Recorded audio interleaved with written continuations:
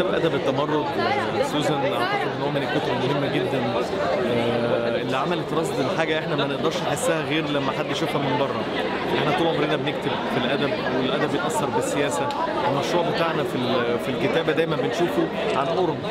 آه، سوزان جت عملت report كامل على كل الأعمال اللي موجودة اللي هي من وجهة نظرها كانت بتحمل فكرة التمرد في فتره ما قبل الثورة. كل الكتاب المصريين لا استثني منهم.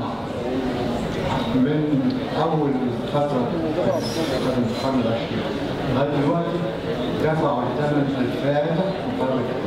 ومن هنا كان لهم يعني كتاب غير مباشر على السؤال بتاع سؤال انما كان لهم سياسي اجتماعي طبعا.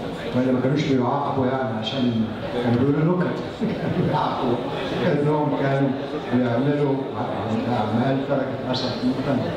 أعتقد إنها أدت كده الصورة من بعيد جدا. إحنا عمرنا ما هنوصل للليفل ده من البعد.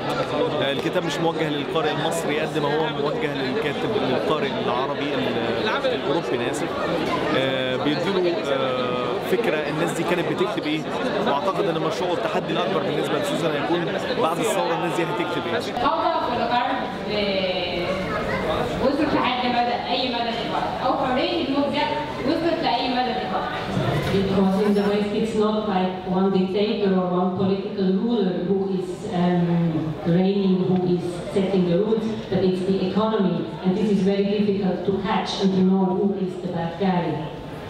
لأن في الغرب مفيش ديكتاتور واحد هو اللي بيقود ولا رأي واحد في آراء كثيره لكن الاقتصاد هو اللي بيقود ال- واللي بيطلق على الناشرين أو على الرأي والاقتصاد ملوش اتجاه واحد ما تقدروش تتحكموا فيه بشكل واحد. نفس الفيديو أصلا